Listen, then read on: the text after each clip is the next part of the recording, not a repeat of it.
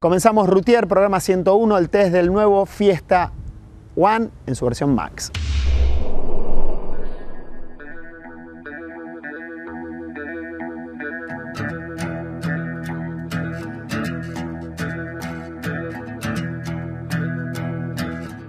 Hace poco presentamos sobre finales de 2010 el nuevo Fiesta New Fiesta Kinetic Design. Lo cierto es que para conformar el inicio de gama o para presentar una gama que corresponda a un abanico de precios mucho más amplio, Ford continúa vendiendo el Fiesta de generación anterior, que con un sutil restyling, sobre todo que alcanza a las al, sector frontal del vehículo y con la nueva denominación de One, tanto en el 4 como 5 puertas, se ofrece como entrada de gama en la familia Fiesta. Hoy vamos a probar en Routier el Ford Fiesta Max en su versión Edge Plus. El Edge, es claro, no se distingue entre sus competidores. Es un vehículo que ya tiene unos cuantos años en el mercado local, pero ofrece una digna batalla, sobre todo en lo que hace la relación precio-producto.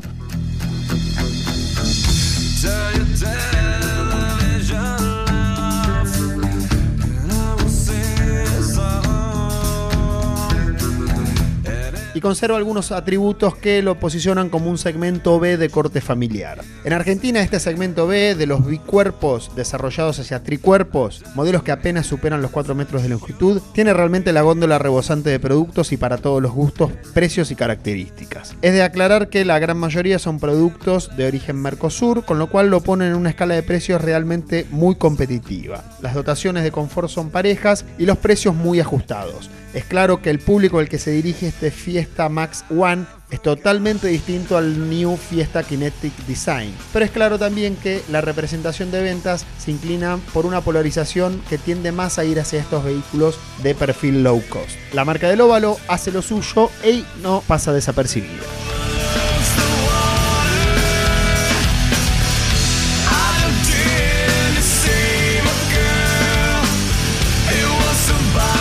El último restyling modificó sobre todo la trompa de un auto nacido bajo los lineamientos anteriores del New Edge, el anterior patrón estético que tuvo Ford, y que adoptó algunos pequeños trucos del Kinetic Design. Lógicamente el resultado puede agradar a unos o a otros no. Nosotros preferimos la versión anterior del Fiesta que se nos antoja era un poquito más lógica.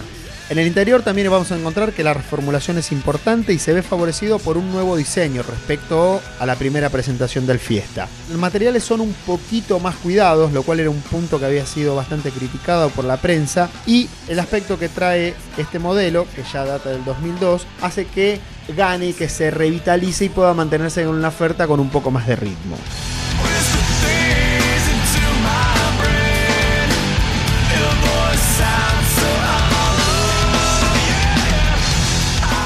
El formato de este Fiesta Max One es claramente el de un tres volúmenes, es decir, un volumen para el motor muy claramente identificado, otro para el habitáculo y un tercero para el baúl. Respecto del de cuatro puertas, se distingue por presentar una capacidad de baúl mucho más lógica para lo que es una exigencia familiar, resigna algunos centímetros en la postura de los pasajeros traseros, pero los privilegia con 305 litros de capacidad y la posibilidad de rebatir los asientos traseros 40 o 60%. En viajes largos, por lo tanto, sin discusión por el tema de las valijas.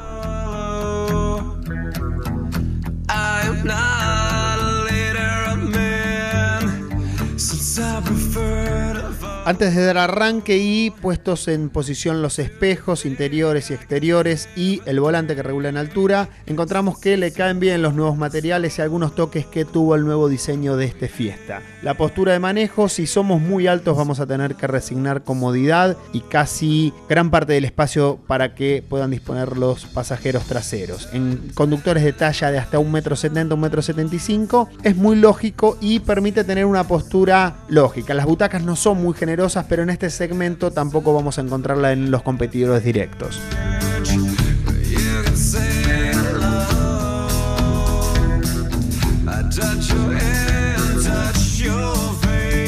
Tanto la regulación en altura como la sujeción lateral del cojín son puntos a mejorar. En el sector posterior serán dos los pasajeros que podrán viajar cómodamente y un tercero si es que le pone un poco de onda. Conductor y acompañante deberán colaborar, no corriendo demasiado las butacas hacia la máxima extensión, hacia la máxima corredera longitudinal de las mismas, porque queda un espacio muy acotado para las piernas.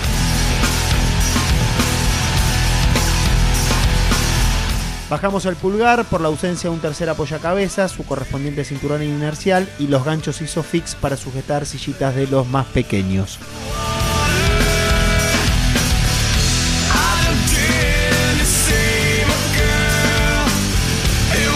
A nivel de confort podemos decir que está representado por un reproductor de MP3 y Bluetooth, no dispone de puerto USB y cuatro levantavidrios con One Touch para el conductor. Los levantavidrios encontramos que están puestos en una posición totalmente cómoda y práctica sobre la izquierda y en el mandato natural de la mano que queda libre en ese sentido del conductor. Cuenta además con apertura a distancia, cierre automático de puertas, pack eléctrico y llantas de aleación. Ítem habituales en este segmento entre los más equipados.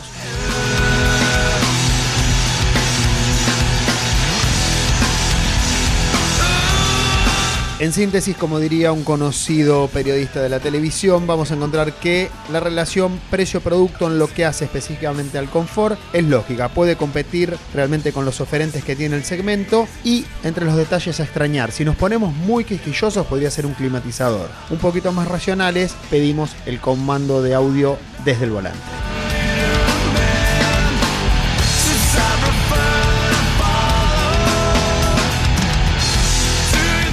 Cerramos este bloque dando cuenta del equipamiento de seguridad que cuenta con doble airbag, ABS y luces de profundidad delantera, todos elementos que se han naturalizado en los topes de líneas de este segmento. Tanto las luces antiniebla trasera y testigos de cinturón abrochados también deberían estar presentes, pero por esta vez vamos a dejarlos pasar. Cierre de bloque y a continuación, después de la pausa, vamos a encontrar los niveles de performance y rendimiento de este Fiesta Max One.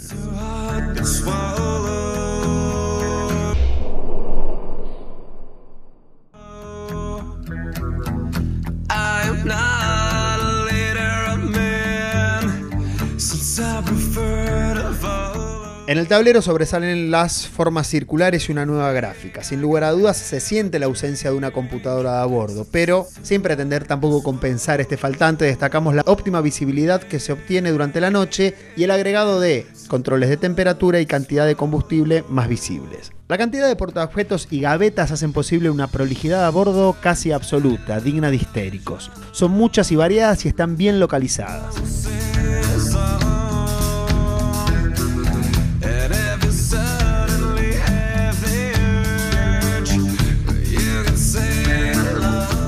El segmento que disputa esta fiesta se debate en potencias que van desde los 90 hasta los 110 caballos, que es lo que marca la media. Precisamente el producto del óvalo marca el inicio de un rango con el conocido motor Rocam de 4 cilindros y 8 válvulas comandado por un solo árbol de levos que precisamente entrega 98 caballos a 5250 RPM. Estamos ante un vehículo que por ahí es un poquito lento en aceleración, 12,4 segundos para llegar a los 100 km por hora, que alcanza una máxima casi sorprendente de 190 km por hora. Esto puestos en un circuito y, atento es decir, no es un vehículo pensado para ir a esas velocidades. El tanque permite cargar 45 litros de nafta super y en ciudad no se muestra como el más económico que digamos. Tampoco es el peor de su clase, pero pide más de 10 litros para completar los 100 kilómetros de marcha. En autopista a velocidades legales se vuelve absolutamente más racional y permite posicionarse por debajo de los 8 litros y medio para el centenar de kilómetros.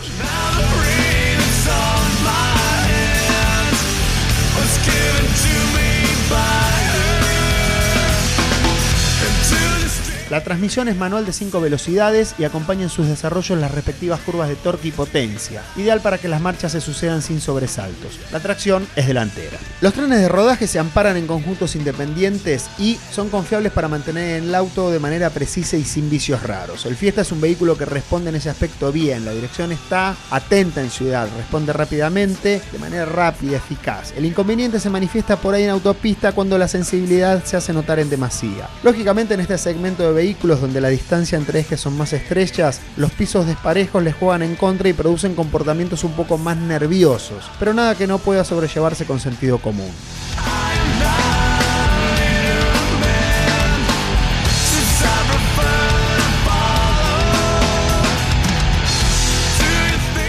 En rutas con mucho tránsito apela a buenas cifras de recuperación lo que agiliza los sorpasos y no siempre se tiene que echar mano de un cambio inferior. De 80 a 120 km por hora en cuarta velocidad imprime solo 10 segundos y medio, en tanto en similares exigencias en quinta velocidad va a necesitar 16,8 segundos.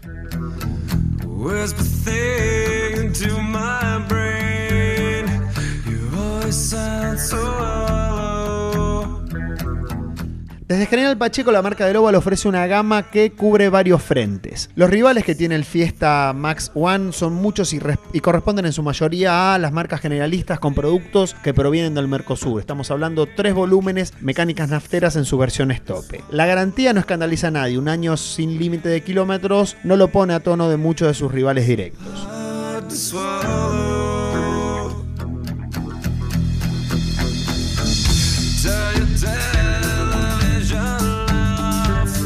La gama en Argentina para este Max va a encontrar tres variantes. El Max Energy a 57.700 pesos, el Max Ambiente a 62.500 pesos y el Max Ambiente Plus a 67.359 pesos. Como dijimos en el inicio del test, esta versión del Fiesta, con sus años encima, tiene la misión de abrir el juego, de abrir la gama de lo que es el Fiesta y posicionarse como entrada en la gama para superado los 80 mil pesos, el público local puede acceder a la última variante, la última generación del Fiesta. Para aquellos que tienen un presupuesto menor y sin embargo buscan un auto que sea confiable, que tenga un buen maúl y una mecánica reconocida, este Fiesta, aún con sus años encima y con un restyling que lo posiciona como un producto un poco más actual, sigue apostando por mantener su vigencia. El público tiene la palabra.